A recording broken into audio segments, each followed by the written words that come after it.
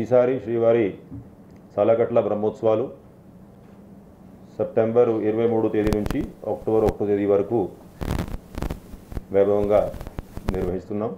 సాధారణంగా చాలామంది చెప్పారు అంటే బ్రహ్మోత్సవాలు కంటే ఒకటి రెండు రోజుల ముందు వరకు కూడా పనులు జరుగుతూ ఉంటాయి అనేది ఒక ఫీడ్బ్యాక్ ఇవ్వడం జరిగింది. అటువంటి పరిస్థితి మళ్ళీ రాకుండా ఇంజనీరింగ్ డిపార్ట్మెంటు కీలకమైనటువంటి వర్క్స్ అన్నీ కూడా సరైన సమయంలో పూర్తి చేయాల్సిందిగా అధికారులందరూ కూడా ఆదేశించారు. గత నెల మనం శ్రీవారి ఆర్జిత్ సేవ టికెట్లు ఆన్లైన్ టిప్ విధానం ప్రవేశపెట్టాం.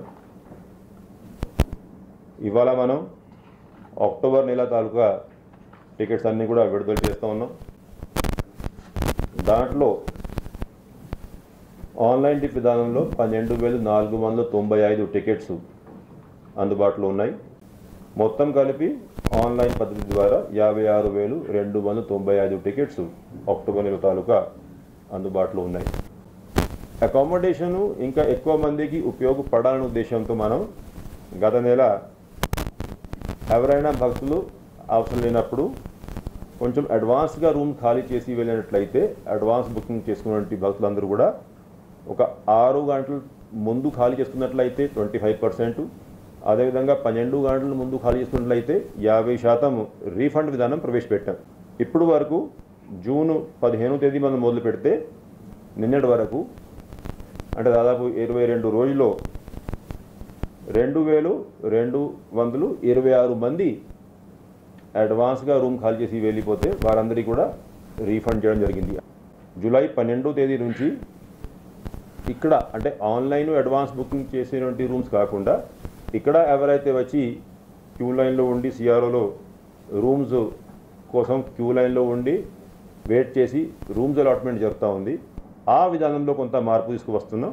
అది మిగతా కొన్ని విషయాలు చెప్పాక డీటెయిల్డ్గా ఆ ప్రొసీజర్ మీకు వివరిస్తాను ఇందాక చాలామంది ఈ క్యూ లైన్ మూవ్మెంట్లో మహాద్వారం నుంచి వెండి బాకి దాటే వరకు పడినటువంటి ఇబ్బందుల గురించి కొంతమంది భక్తులు తెలియపరిచారు.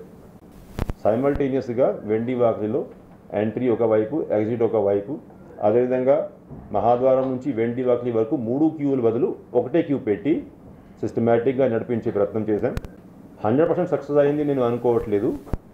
అంటే ఒకవేళ ఎనభై వేలు లోపల ఒక రోజుకి భక్తులు వచ్చి ఉంటే తప్పనిసరిగా హండ్రెడ్ పర్సెంట్ ఈ విధానం సక్సెస్ అవుతుంది. ఉదయం పది గంటలకి వెయ్యి టోకన్లు మధ్యాహ్నం రెండు వందలు రెండు రెండు గంటల సమయంలో దర్శనం కోసం రెండు వేలు టోకన్లు అదేవిధంగా మూడు గంటల సమయానికి ఒక వెయ్యి టోకన్లు. అంటే మొత్తం కలిపి నాలుగు వేలు టోకన్లు జూలై పద్దెనిమిది వేలు నాలుగు వేలు టోకన్లు అదేవిధంగా జూలై ఇరవై ఐదు తేదీ నాలుగు వేలు టోకన్లు.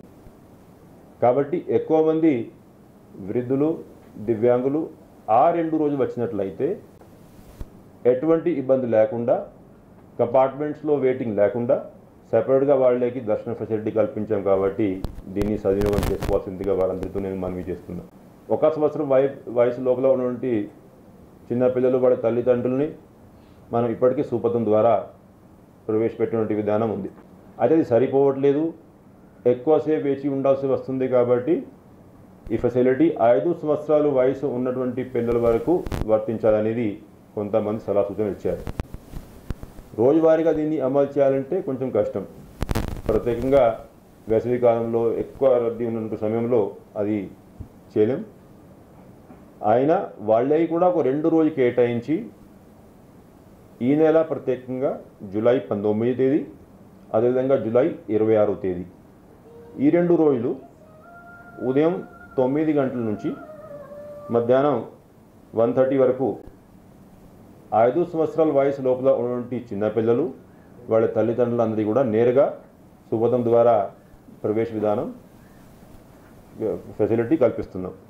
అదే నిన్న టీటీడీని మనం ఇప్పుడు గవర్నమెంట్ ఆఫ్ ఇండియా ప్రవేశపెట్టినటువంటి జిఎస్టీ విధానంలో రిజిస్ట్రేషన్ చూ చేసుకోవడం జరిగింది. అయితే మనం ఏదైతే సర్వీసెస్ భక్తులకి ఇస్తూ ఉన్నాం అవి కొన్నింటి మీద ఇప్పుడు జిఎస్టీ ట్యాక్స్ కలెక్షన్ చేసుకోవడం జరుగుతుంది. కొన్ని సందర్భాల్లో ఎక్కడైతే మనం సర్వీసెస్ అంటే ఐటమ్స్ కొంటా ఉన్నాము అది ఇప్పటికీ మనం వ్యాట్ ఇస్తూ ఉన్నాము. అది వ్యాట్ బదులు మనకి జిఎస్టీ విధానం అమల్లోకి ఉంటుంది కాబట్టి అది స్లాబ్ని బట్టి కొంత ఇంపాక్ట్ టీటీడీ మీద ఉంటుంది. మన ఇంజనీరింగ్ వర్క్స్ కానీ ప్రొక్యూర్మెంట్ కానీ అది కాకుండా ఏదైతే మనం భక్తులకి సేవలు అందిస్తున్నాం ఉదాహరణంగా గోల్డ్ డాలర్స్ సేల్ దాని మీద జిఎస్టీ ఒక మూడు శాతం జిఎస్టీ పడుతుంది. అదేవిధంగా ఒక వెయ్యి రూమ్ రెంట్ కంటే ఎక్కువ ఉన్న రూమ్ రెంట్ ఉన్నటువంటి రూమ్స్ దాని మీద కూడా జిఎస్టీ విధానం అంటే వెయ్యి నుంచి రెండు వేలు ఐదు వందల వరకు పన్నెండు శాతం దానిపైన ఉన్నటువంటి రూమ్స్ మీద పద్దెనిమిది శాతం జిఎస్టీ అమలు చేసుకోవాల్సిన పరిస్థితి అదేవిధంగా మన కళ్యాణ మండపాలు పదివేల రూపాయలు రోజు రెంట్ కంటే ఎక్కువ ఉన్నటువంటి రెంట్ ఉన్నటువంటి కళ్యాణ మండపాలు మనకి నాలుగు ఉన్నాయి. ఈ నాలుగింటి మీద కూడా జిఎస్టీ అమలు చేసుకోవడం. అటువంటి జిఎస్టీ ట్యాక్స్ కలెక్షన్ అంటే నిన్న రిజిస్ట్రేషన్ అయింది. దీనికోసం కొంత సాఫ్ట్వేర్లో కూడా మార్పులు అవసరం. ఎందుకంటే జిఎస్టీ ట్యాక్స్ కలెక్షన్ చేశాక కేటగిరీ వారీగా సెంటర్ స్టేట్ షేర్స్ ఇవన్నీ ఒరిజినల్ రూమ్ రెంట్ ఇవన్నీ కొంచెం కేటగిరీ వాడిగా మనం విడదీయాలి కాబట్టి ఈ సాఫ్ట్వేర్ అప్డేషన్ జరుగుతూ ఉంది. ఈ ఒకటి రెండు రోజుల్లో ఈ సాఫ్ట్వేర్ మార్పులు చేశాక జిఎస్టీ విధానం ఇవన్నీ సేవల మీద అమలు చేసుకుంటాం. అంటే ఒరిజినల్ రూమ్ రెంట్ పెరగదు ఎక్కువ బట్ ట్యాక్స్ వరకు అయితే అదనపుగా అంటే థౌజండ్ రూపీస్ పైన ఉన్నటువంటి రూమ్స్ మీద పడతాయి. ఫోర్ డాలర్ సేల్ కానీ కళ్యాణ మండపాలు కానీ లేకపోతే థౌజండ్ రూపీస్ పైన ఉంటే అకామిడేషన్ కానీ ఈ మూడింటి కలిపి అక్కడ ఒక పంతొమ్మిది